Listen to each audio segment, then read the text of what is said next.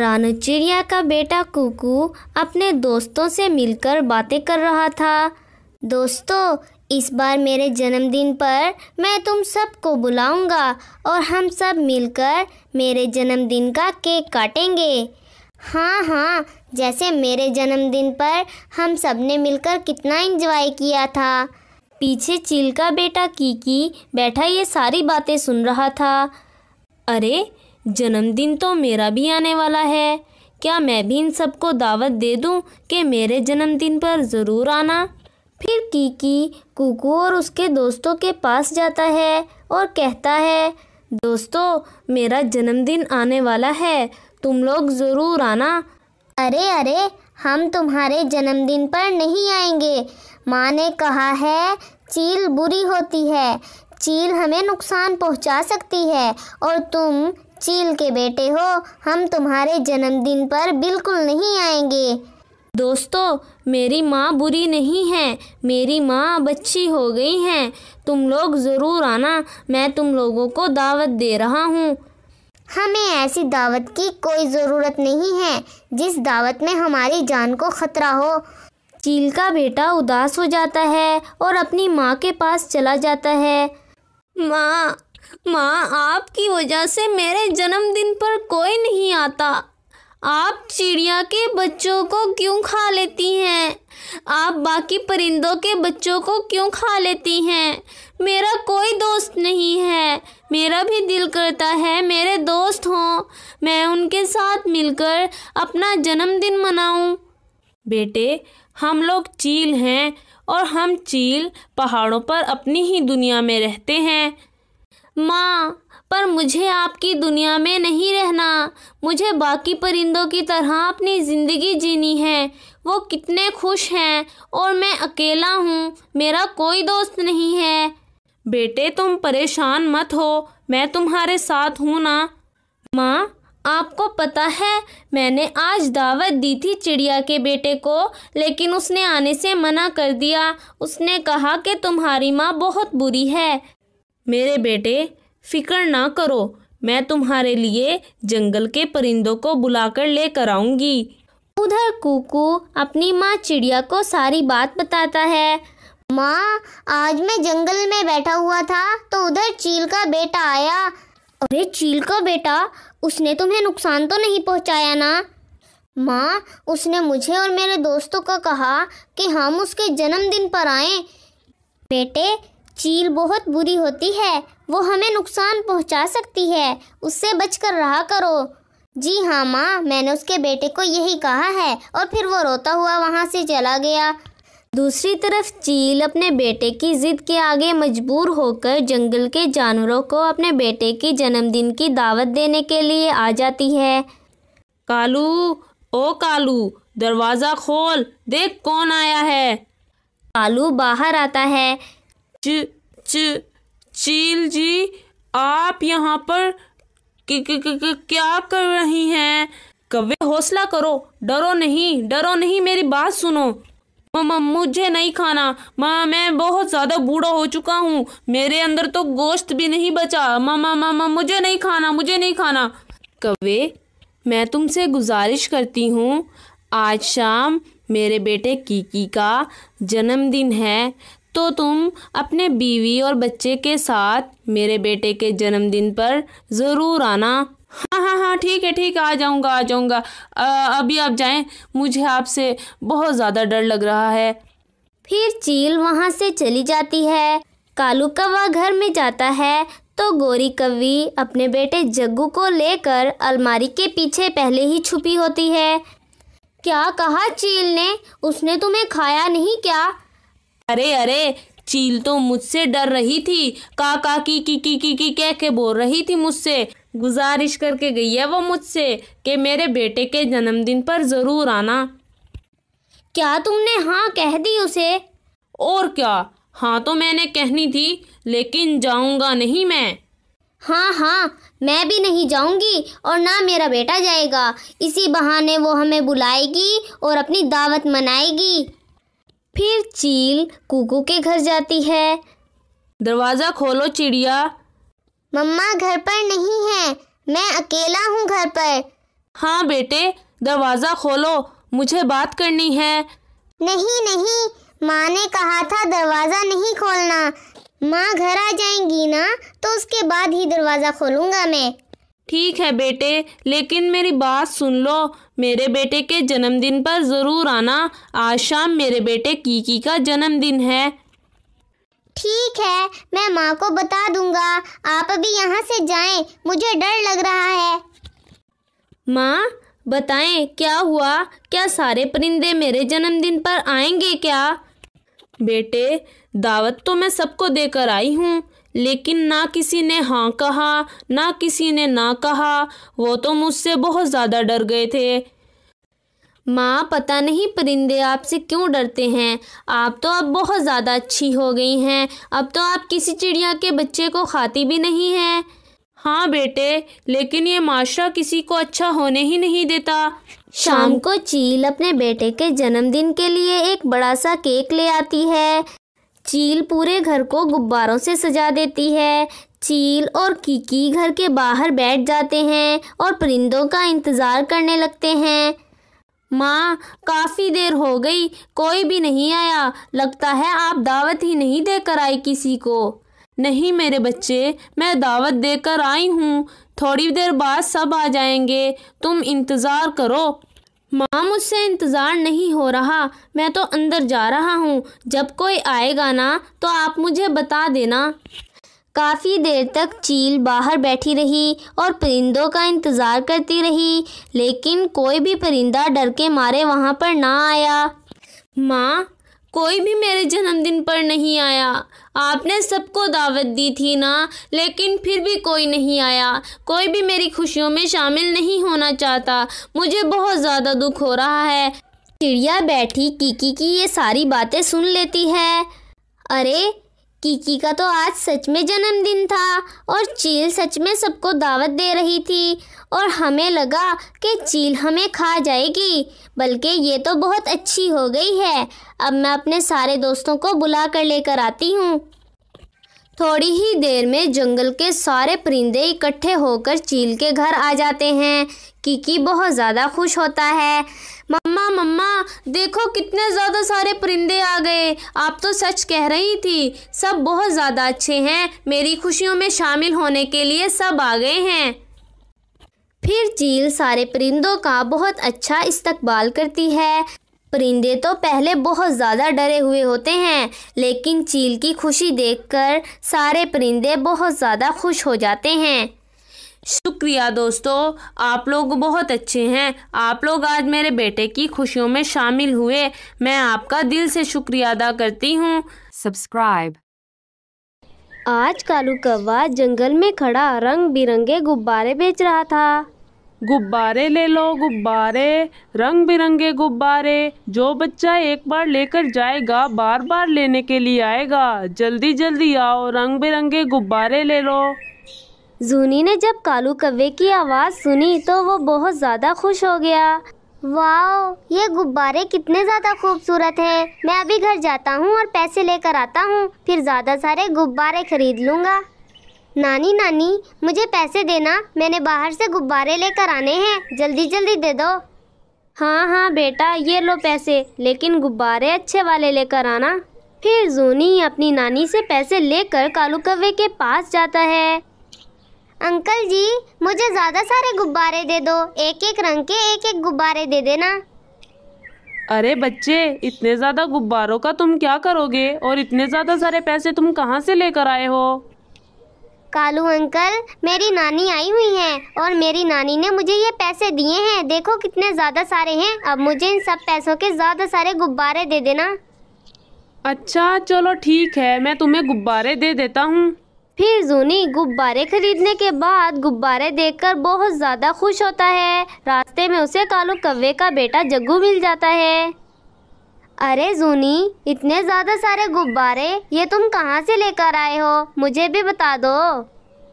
जग्गू, ये तुम्हारे अब्बू बेच रहे थे। अगर तुमने लेने हैं तो तुम अपने अब्बू से जाकर ले लो ना।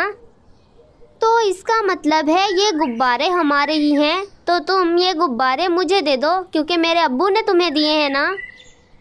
अरे अरे, नहीं नहीं, मैंने तुम्हारे अब्बू से ये पैसों के खरीदे हैं। मेरी नानी ने मुझे ज़्यादा सारे पैसे दिए थे, फिर मैं तुम्हारे अब्बू से ये गुब्बारे खरीद कर लेकर आया हूँ। नहीं नहीं, वो मेरे अब्बू हैं और मेरा हक है इन गुब्बारों पर। तुम ये सारे गुब्बारे मुझे दे दो। अगर तुमने मुझे ये गुब्बारे ना दिए तो मैं इन्हें छीन कर ले जाऊँगा तुमसे। जग्गू, मुझे घर जाने दो। मुझे अपने घर जाकर अपनी नानी को गुब्बारे दिखाने हैं। फिर जग्गू जूनी की एक बात भी नहीं सुनता और जूनी के सारे गुब्बारे छीन कर जंगल की तरफ़ भाग जाता है। माँ, आपने जूनी को पैसे क्यों दे दिए थे? पता भी है वो कितना शरारती हो गया है। हर वक्त पैसे ही माँगता रहता है। अरे बेटी, कुछ नहीं होता। अभी तो वो छोटा बच्चा है। जब बड़ा हो जाएगा तो उसे समझ आ जाएगी। लेकिन माँ आप भी तो थोड़े से पैसे लेकर आई होंगी ना मेरे पास रहने के लिए। अरे मेरी बेटी जो मेरा है वो तुम्हारा और जूनी का ही तो है और मेरे पास है ही कौन जिसे मैं अपनी चीज़ें दूँगी?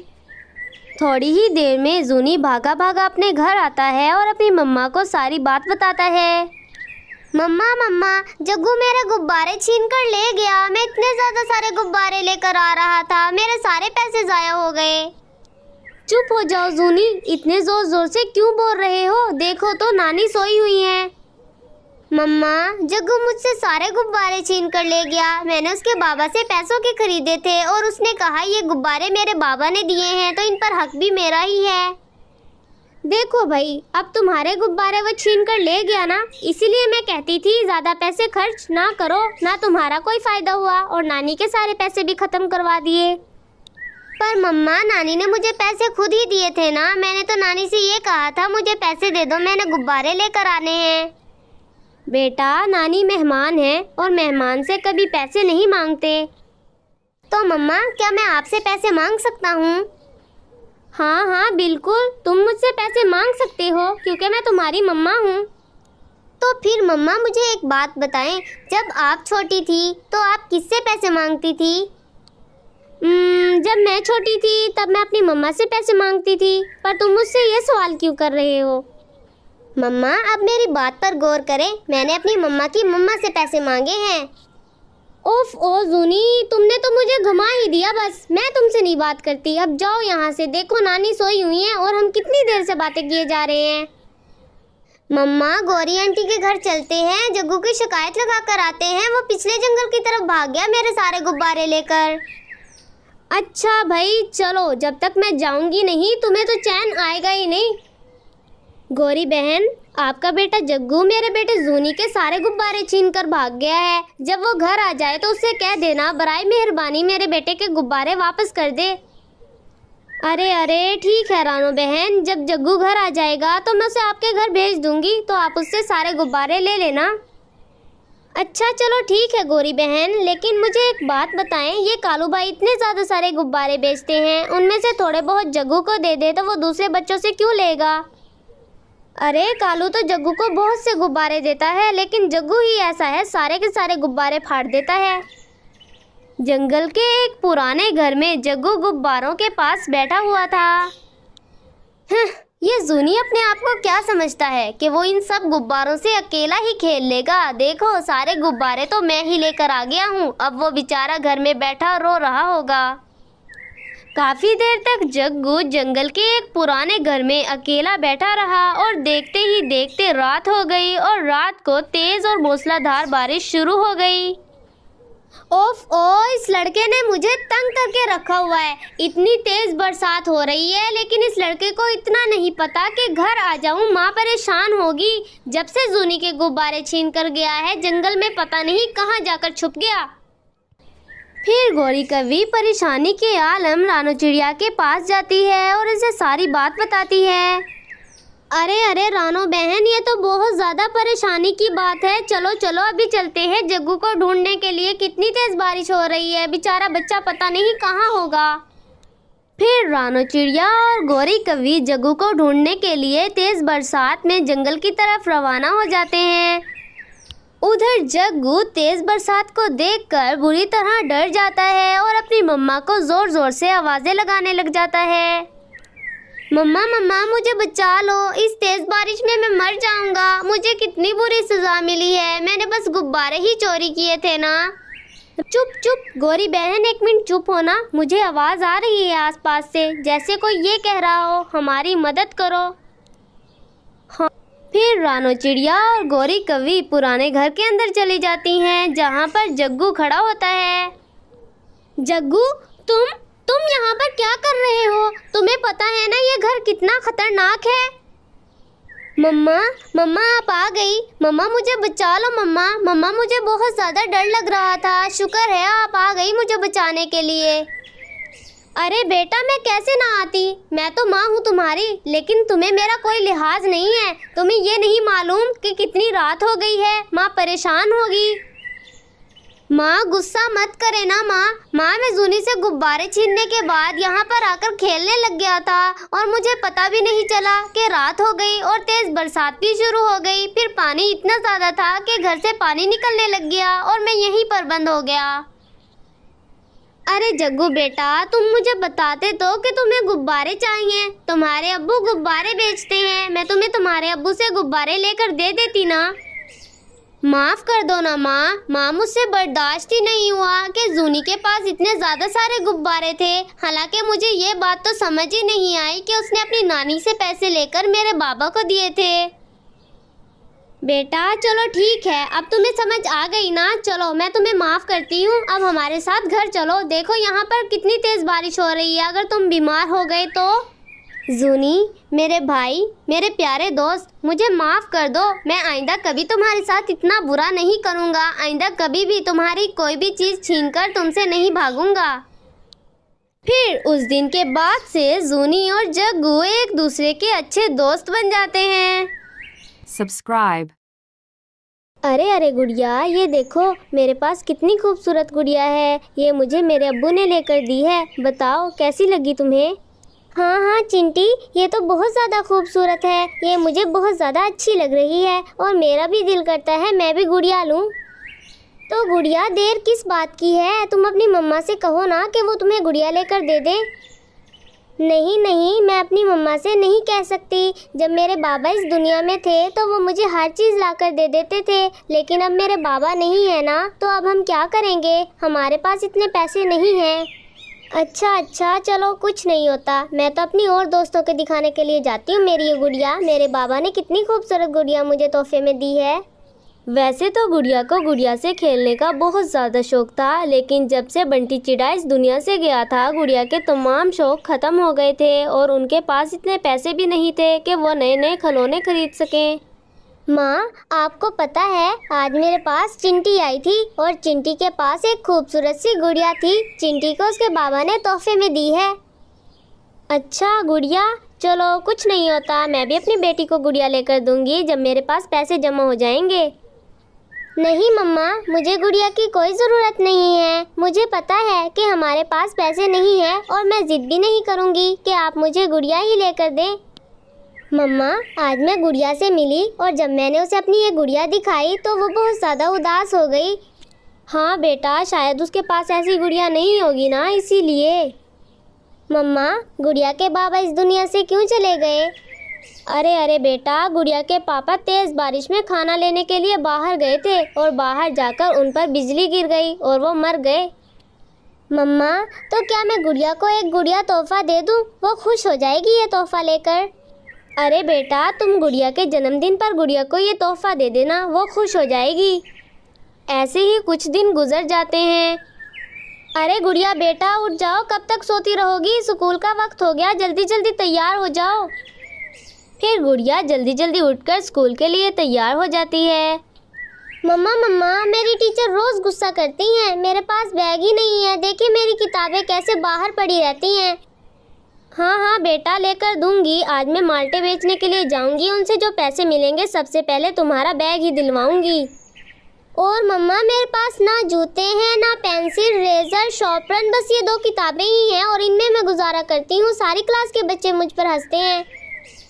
बेटा, मेरी बात को समझो। हमारी अभी मजबूरी है। जब मेरे पास पैसे हो जाएँगे, मैं तुमसे वादा करती हूँ, मैं तुम्हें सारी चीज़ें नई नई लेकर दूँगी।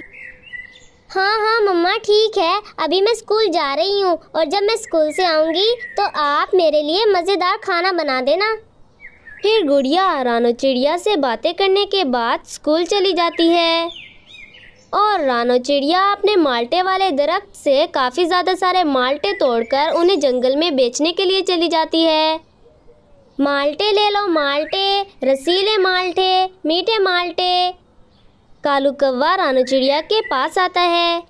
अरे अरे रानो, तुम्हारी ये हालत देखकर मुझे बहुत ज़्यादा अफसोस होता है। तुम बिचारी महलों में रहने वाली अब रेडी पर आके बैठ गई हो। भाई, बंटी भाई तो तुम्हें बहुत ज़्यादा खुश रखते थे।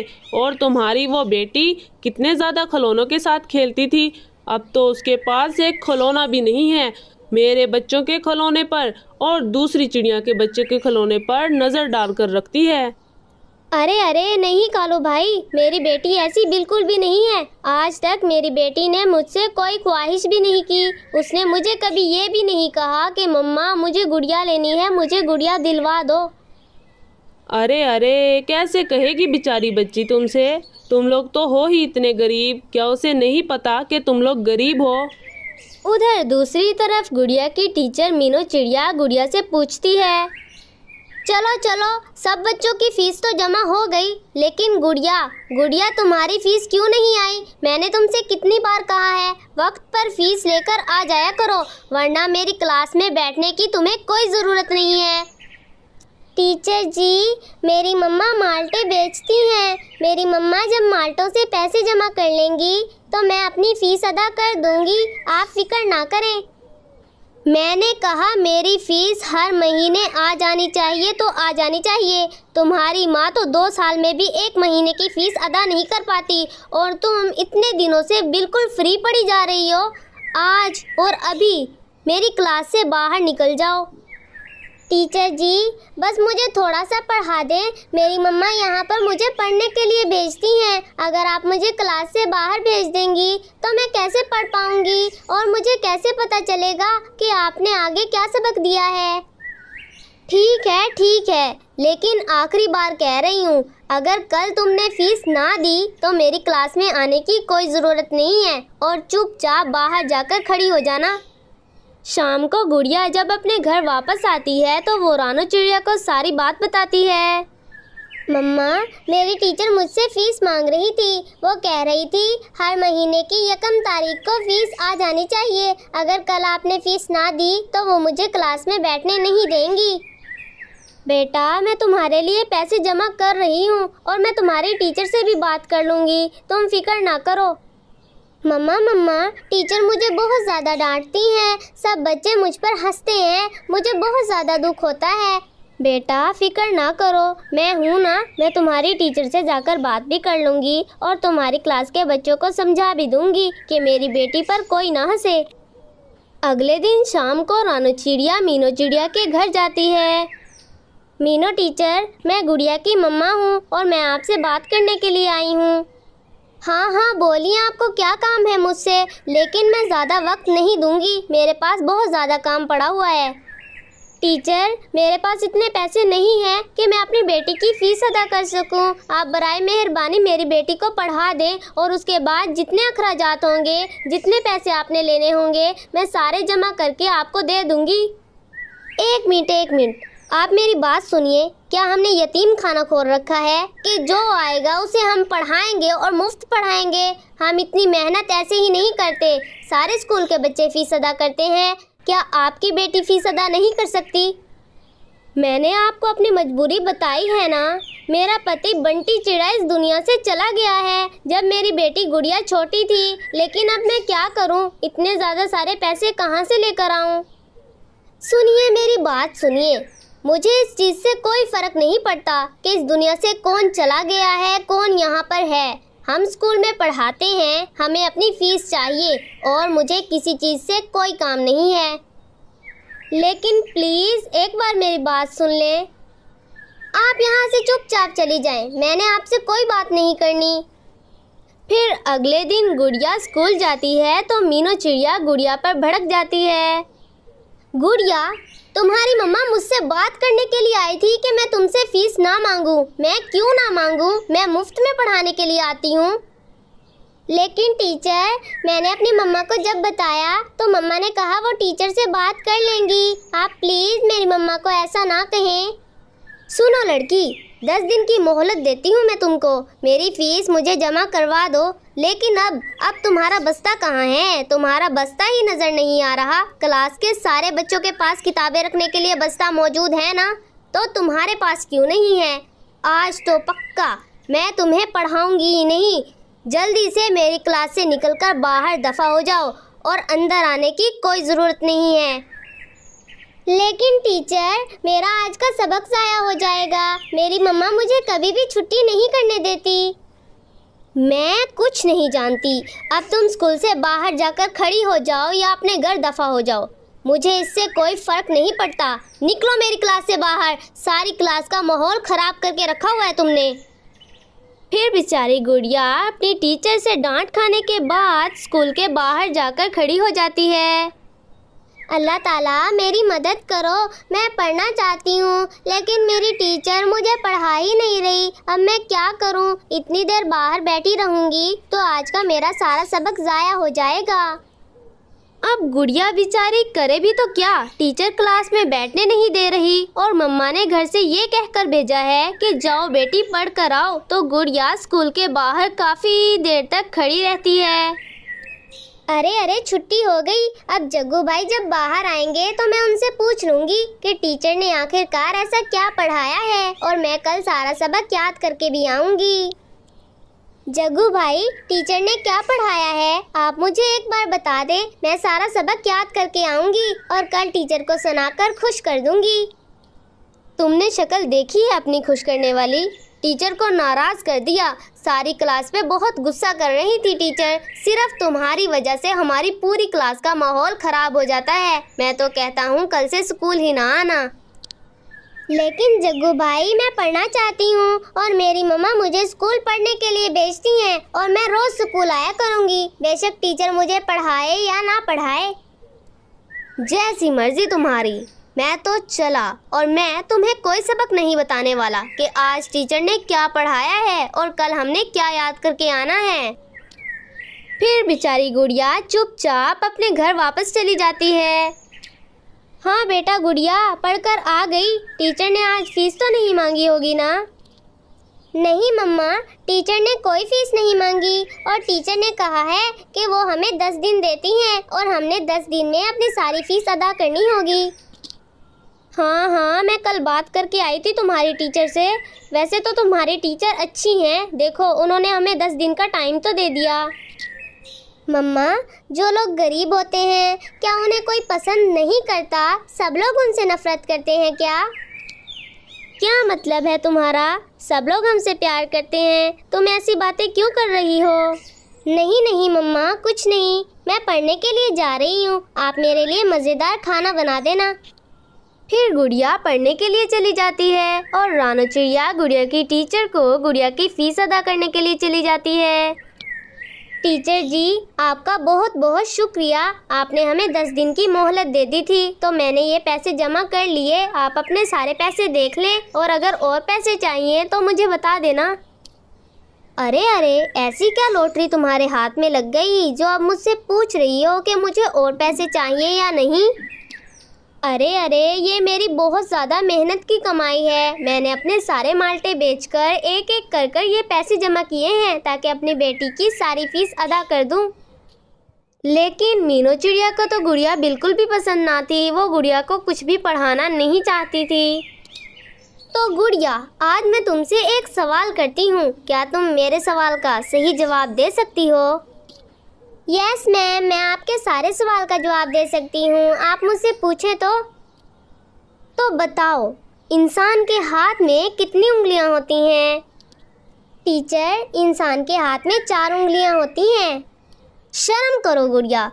मुझे मालूम था कि तुम्हें मेरे सवाल का जवाब बिल्कुल भी नहीं आएगा। इंसान के हाथ में चार की बजाय पाँच उंगलियाँ होती हैं। क्या तुमने कभी इंसान का हाथ नहीं देखा? देखा है टीचर, लेकिन वो एक अंगूठा होता है ना, और चार उंगलियाँ होती हैं। निकलो, अभी और इसी वक्त मेरी क्लास से निकलो। गलत जवाब देती हो, पूरी क्लास को खराब कर दिया। तुम्हारी वजह से मेरी क्लास का कोई भी बच्चा पढ़कर नहीं आता। अभी और इसी वक्त निकल जाओ मेरी क्लास से। आज फिर गुड़िया स्कूल के बाहर आकर बैठ जाती है। टीचर ने मुझे फिर से स्कूल से बाहर निकाल दिया। अब मैं कहाँ जाऊँ?